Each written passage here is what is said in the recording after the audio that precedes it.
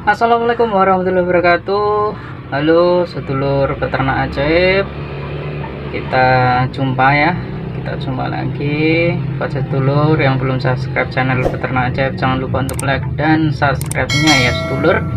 Oke buat sedulurku semua Kemarin banyak yang tanya mengenai di musim kemarau itu banyak telur entok yang gagal dalam pengeraman ya.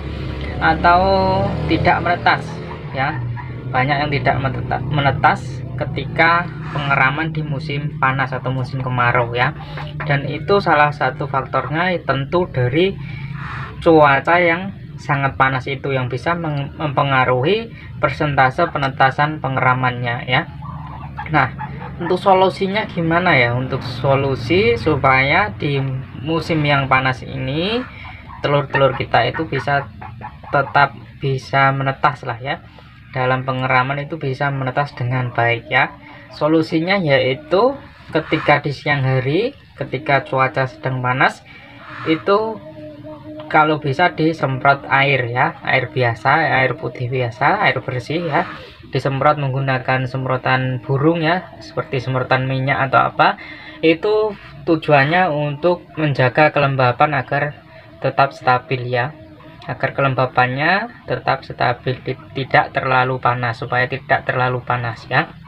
Karena suhu-suhu di musim kemarau ini sungguh ekstrim sekali sungguh luar biasa panasnya dan itu bisa apa membunuh embrio-embrio pada telur yang sedang dirami ya. Maka harus dilakukan penyemprotan disemprot air biasa supaya menjaga kelembapannya ya. Supaya suhunya tidak terlalu tinggi ya. Suhu panasnya tidak terlalu tinggi ya. Itu untuk mengantisipasi supaya telur kita bisa menetas dengan baik ya. Nah ini ada entok jumbo yang sedang mengeram juga ya bosku ya. Buat bosku yang mau pesan entok jumbo kita juga melayani ya kita juga bisa kirim-kirim ke seluruh pulau Jawa ya. Untuk info lanjut bisa hubungi WA yang tertulis ini ya. Buat sedulurku terima kasih yang sudah nyimak dari channel ini. Jangan lupa ya dukung channel peternak ajaib ini dengan cara like dan subscribe nya ya.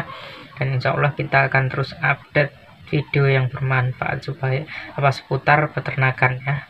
Oke buat sedulurku jadi solusinya itu apa untuk mengatasi telur yang gagal menetas di musim kemarau itu syaratnya di siang hari harus kita semprot menggunakan airnya pas rami seperti ini kita bisa semprot ya untuk menjaga kelembapannya. Oke sekian dulu sampai jumpa kembali. Wassalamualaikum warahmatullahi wabarakatuh